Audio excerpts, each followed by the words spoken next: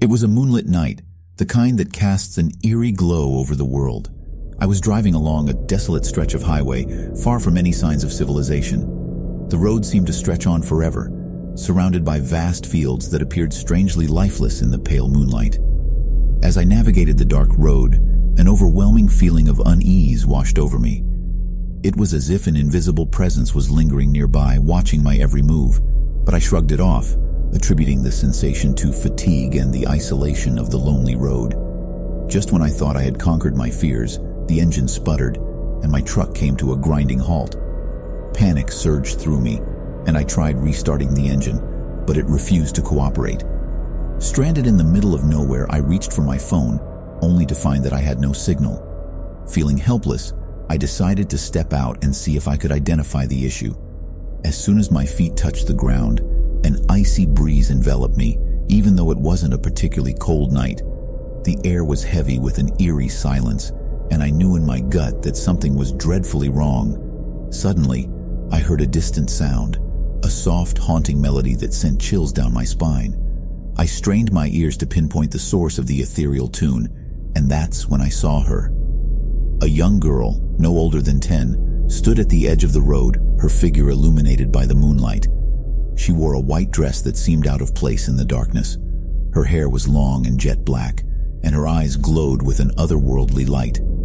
Fear and curiosity battled within me, but against my better judgment, I called out to her, asking if she needed help. The girl simply stared at me, her expression blank yet somehow filled with sorrow. As I took a step closer, the melody grew louder, but something was off. There was no music playing anywhere. It was as if the haunting tune was emanating from the girl herself. Mesmerized and unnerved, I asked her once more if she needed assistance, but this time she spoke in a voice that seemed to echo from a distant void. Help me find my way home, she pleaded, her words chilling me to the bone. Before I could respond, she turned and started walking away, her bare feet making no sound on the pavement. Compelled to follow her, I did so, my truck forgotten for the moment. As we walked further into the darkness, the fields seemed to transform, taking on an eerie glow of their own. My heart raced and I wanted to turn back, but an irresistible force urged me onward. Then, in the distance, I saw a faint light, the silhouette of an old farmhouse. The girl walked towards it, and with each step, the melody grew louder and more haunting. It was as if the music itself was leading us to this ominous place. As we approached the house, I felt an overwhelming sense of dread, but I couldn't stop myself. The girl disappeared inside, and against all logic, I followed her in. The interior of the farmhouse was decrepit and filled with shadows. The haunting melody now surrounded me, echoing off the walls, and the air was thick with an indescribable heaviness. Suddenly, the girl stopped, and the melody ceased. She turned to face me, and her eyes bore into my soul.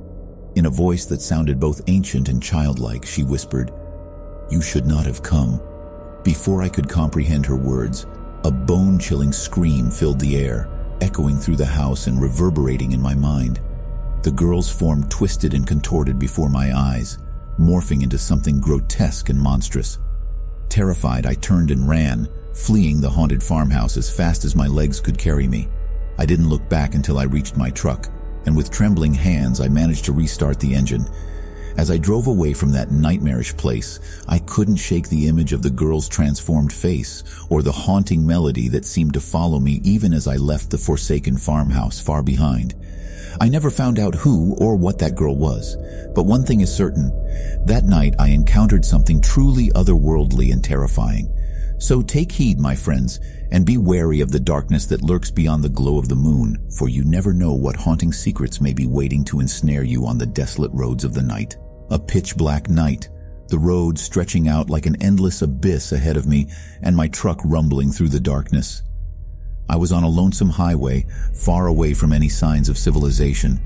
The wind howled outside, and the sound of my engine was the only thing keeping me company.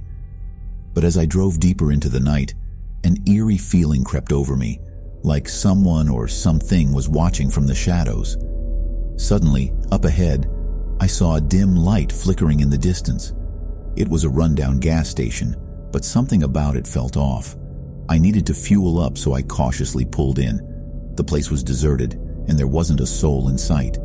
As I pumped gas, I couldn't shake the feeling that I was being watched. Every little noise sent shivers down my spine.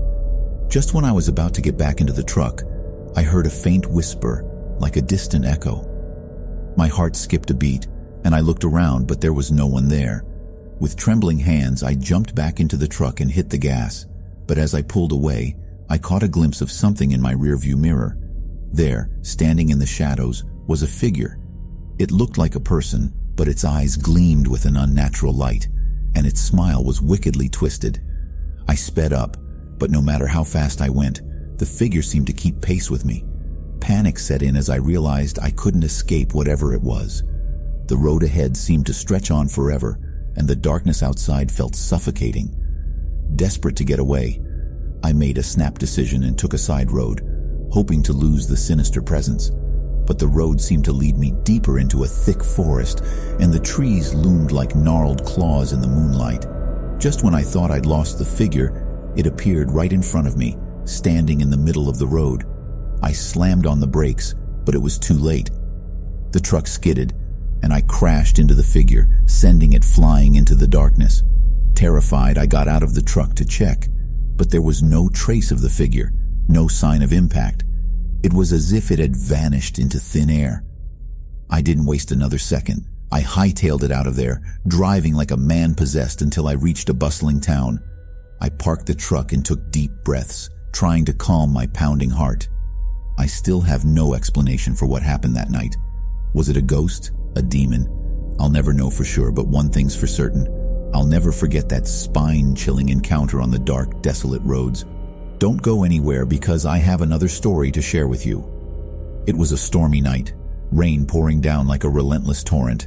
I was driving through a dense forest, taking a shortcut to reach my destination faster. The road was narrow, winding, and flanked by towering trees that seemed to whisper secrets in the wind. As the rain splattered against my windshield, the sound of the downpour drowned out everything else. But amidst the drumming rain, I thought I heard something else, a faint, mournful cry. I shook it off as a trick of the weather, but the feeling of unease persisted. Suddenly, my headlights caught a glimpse of movement ahead. I squinted through the rain-smeared glass and saw a figure stumbling on the side of the road. My heart skipped a beat, and I pulled over, feeling a sense of duty to help whoever it was out there in the storm. I grabbed my flashlight and stepped out of the truck. The rain soaked me to the bone in seconds, but I pressed on, trying to find the person who needed help. I called out, but there was no response, only the haunting echoes of my own voice in the forest. As I ventured further into the darkness, I stumbled upon an old abandoned house. It looked decrepit, as if it had been standing there for centuries, forgotten by time. But what sent a chill down my spine was the fact that the cry seemed to be coming from inside that eerie dwelling. Against my better judgment, I approached the house. The creaking of the wooden floorboards beneath my feet sounded like whispers from the past. I called out once more, and this time I heard a faint reply, a trembling voice begging for help. Pushing open the door, I entered cautiously, my heart pounding loudly in my ears. The inside was pitch black and I could barely see a thing. My flashlight beam revealed old, rotting furniture covered in cobwebs, adding to the sense of dread that enveloped me. Following the voice, I ascended a rickety staircase, every step creaking like a scream of warning. On the upper floor, I found a small, dimly lit room, and there in the corner, huddled a figure that sent shivers down my spine.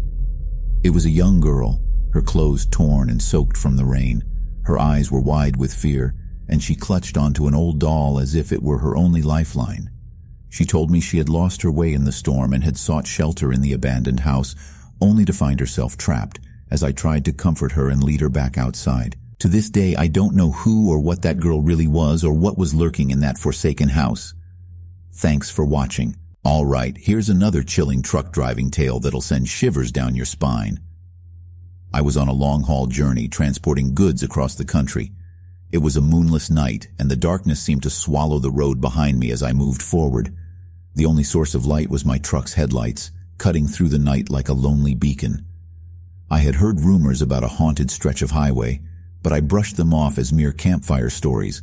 However, as I approached that ominous road, A strange feeling washed over me, like an icy hand gripping my heart. Ignoring my unease, I pushed on, determined to meet my delivery deadline. The further I drove, the more the atmosphere seemed to change. The air grew colder and the usual sounds of the road faded into an eerie silence. A dense fog began to creep in, reducing visibility to almost nothing. Suddenly, my headlights caught something up ahead, a figure standing in the middle of the road. I slammed on the brakes, heart pounding in my chest, and watched as the figure slowly turned to face me. It was a woman, dressed in tattered clothes, and her eyes seemed to reflect the pale light like those of a lost soul. Feeling a mix of fear and concern, I rolled down my window and called out to her, asking if she needed help. But she remained silent, her expression hauntingly empty. I knew I should drive away, but a strange compulsion held me in place. Without warning, the woman started moving towards me, her gait unnatural and jerky. Panic surged through me, and I finally found the strength to hit the gas and speed away. But as I looked in my rearview mirror, my heart nearly stopped. The woman was now standing in the distance, but there was something horribly wrong. She was no longer alone. A group of shadowy figures stood beside her, their eyes glinting in the darkness, and they seemed to be floating above the ground. I pushed my truck to its limits, desperate to escape this nightmarish scene. The fog seemed to thicken, and I felt like I was driving through a surreal dream. The figures kept appearing in my mirrors, now closer, now farther away, but always watching. I finally reached the end of that cursed stretch of road, and the fog lifted as quickly as it had come. I pulled over, gasping for breath and trying to make sense of what I had just experienced. But even in the safety of daylight, the memory of those ghostly figures haunted me. From that day on, I avoided that haunted highway like the plague, warning fellow truckers to steer clear of its malevolent grasp. Whether it was a ghostly encounter or a product of my imagination, I'll never know, but I can't shake the feeling that something otherworldly lurked in the darkness that night. So if you ever find yourself driving alone on a